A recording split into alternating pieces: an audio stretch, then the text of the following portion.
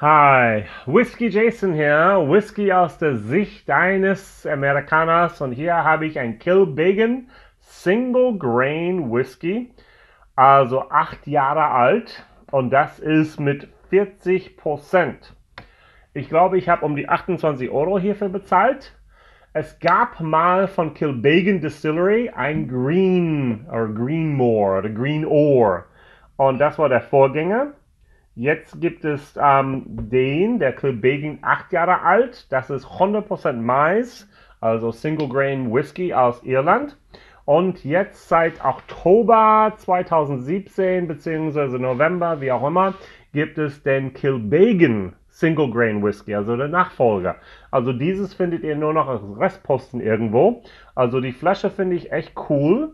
Die hat was. Ich finde, der Form ist sehr, sehr schön. Ein bisschen schwierig zu lesen. Also, aber wenn man hier hinten da weiß, weißes hin tun, kann man das hier wunderbar auch so sehen. Ja, also, es ist ziemlich selten aus Irland ein Single Grain zu bekommen. Single bedeutet in diesem Fall nicht ein einzige Getreidesorte, sondern bedeutet ein Standort, auf dem es gebrannt wurde. Nun, normalerweise würde man das in Kilbeggan brennen. Aber der Column Still, dieser Coffee Still, der dafür benötigt wurde, ist einfach zu groß. Und deshalb hat man den in Cooling das hier gemacht. Die Geschichte zu der Namensänderung zwischen den Green Ore und der Kilbeggan ist, dass Bean Centauri hat tatsächlich hier ähm, Cooley mit aufgekauft und da war auch Kilbeggan dabei. Und Kilbeggan ist ein berühmterer Name aus dem Green Ore und die wollten gerne marketingmäßig einfach mehr auf diese Schiene einfach mal fahren und deshalb haben sie gesagt, wir müssen eine Namensänderung machen.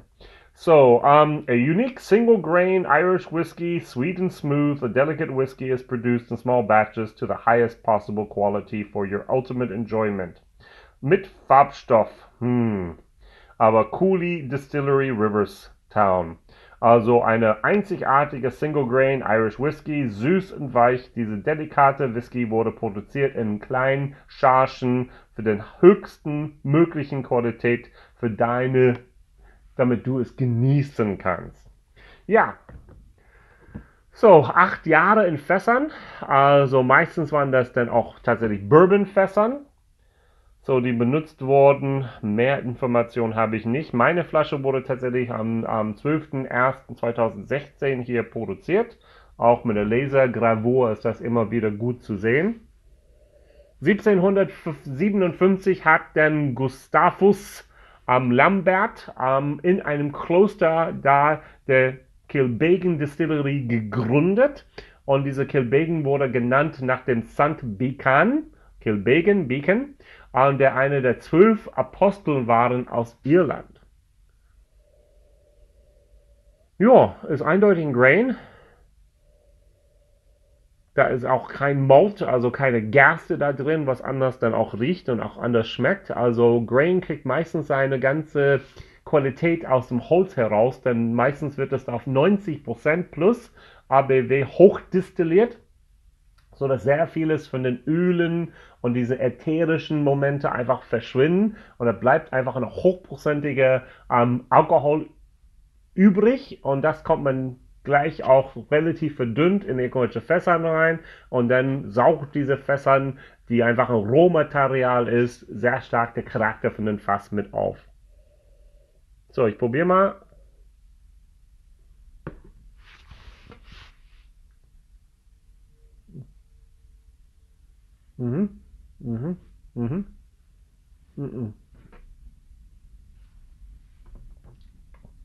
Ich mag Grain Whiskys. Also ich habe hier ein Single Grain Scotch Whisky, Scotch Whisky, also von der Boutique Whisky. Das ist ein 27 Jahre alten North British. Exzellent. Allerdings mit, äh, mit 56,3 Ich habe von ähm, irgendwo hier hinten vom, auch von ähm, Signatory auch noch eine ähm, eine Abfüllung dann da. Ähm, ich mache gerne Old Particular, auch die Grain-Abfüllungen. Mm. Aber der ist irgendwie okay. Aber nicht wow. Der ist eine 3 plus in meiner Mund. Aber am Ende, der, der, der Nachgeschmack ist besser als der Hauptgeschmack. Kann man Hauptgeschmack überhaupt sagen? Also 40 Prozent, ein paar Umdrehungen wären besser gewesen, aber es hat auf jeden Fall eine Altersangabe, was der neue nicht mehr hat.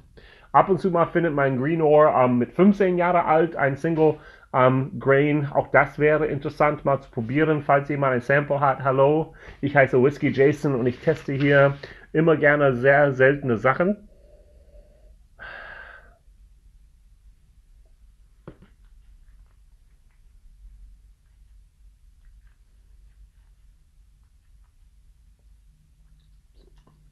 Also am Ende geht es tatsächlich nach oben. Interessant.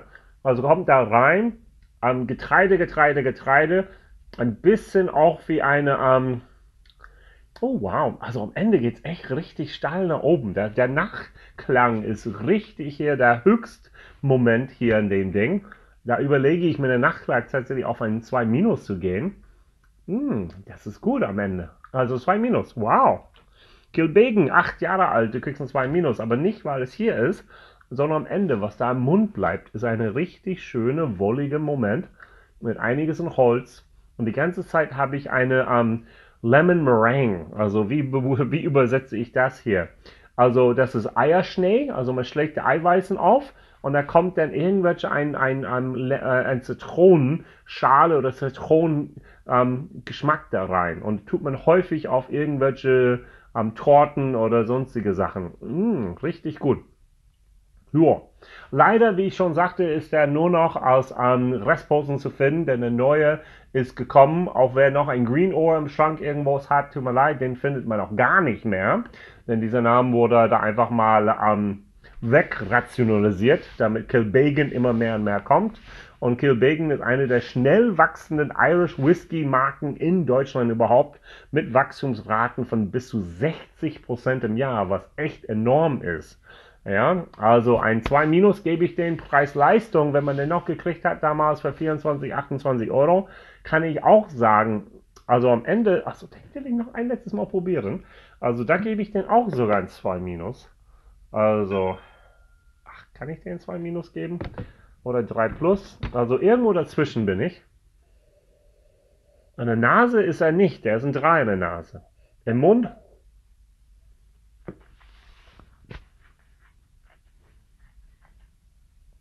ist auch ein 3. Aber dann, jetzt,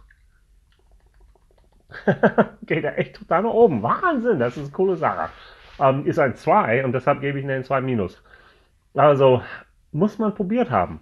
Also Leute, also Sample. Also ich kriege krieg das sowieso nicht mehr im Laden auf meine Sample-Liste schauen. Ich habe hier noch 30, 35 CL, die wecken dürfen. Ähm, Jo, bitte, bitte fragen. Also Whiskey Jason hier, Whisky aus der Sicht eines Amerikaners. Meine Frage geht um Single Grain Irish Whisky in Kilbeggan.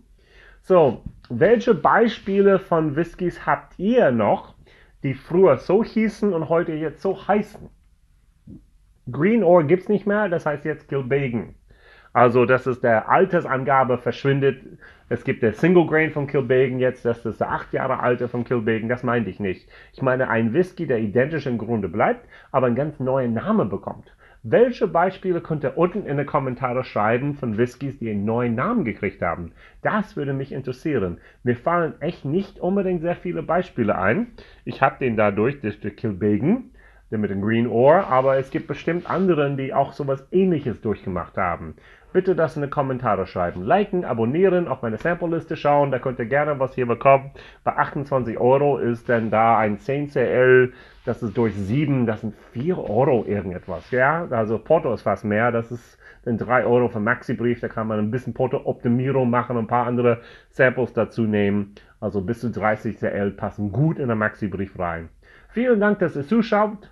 Vielen Dank, dass ihr immer wieder auch liked und vielen Dank, dass ihr immer wieder kommentiert. Whiskey Jason hier, Whisky aus der Sicht eines Amerikaners. Bis morgen.